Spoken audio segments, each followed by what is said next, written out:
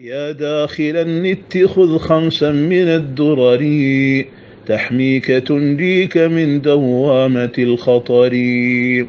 راقب إلهك لا تهتك محارمه واحفظ قليمك واحفظ نعمة البصر. خل الفضول ولا تبرح مواطنه إن الفضول بريد الضر والضرر. واحذر تصادق من تشقى بصفحته. لا تفعلن وهذه رابع الدرر. أما الحوادث والأخبار فاحذرها. لا تنشرن سوى ما حق من خبري.